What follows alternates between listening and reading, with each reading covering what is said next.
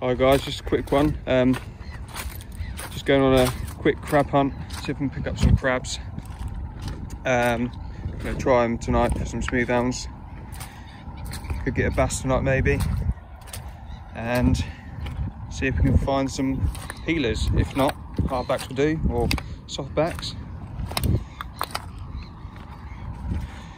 To find crabs, all we need to do is just find somewhere like this, plenty of rocks, just give them a little turnover and you should find some.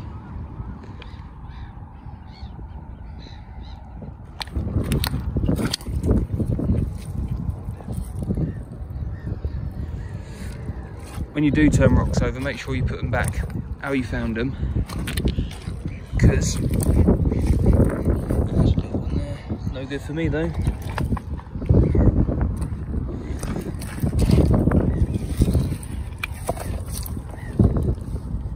Looks like someone's might have already done these rocks.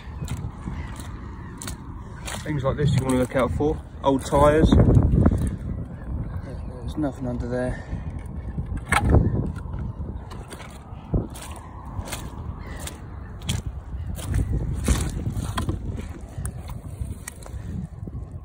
There. Little limpet there.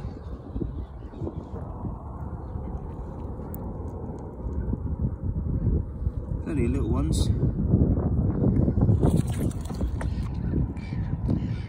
He's only small, but he's a soft shell. Let's have a look.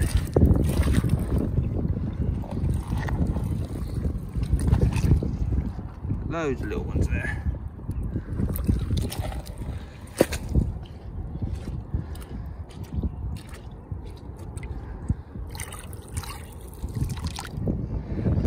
That guys, I'm not sure what it is, some sort of eggs. Um, if anyone knows, let us know. Quite interesting. See the little eggs in there.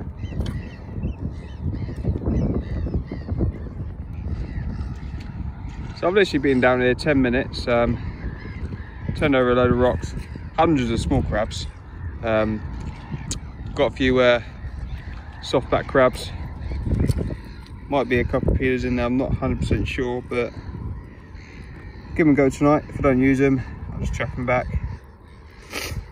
So what I'm to do is grab a bit of fresh seaweed, just put it on top, keep them fresh and cool.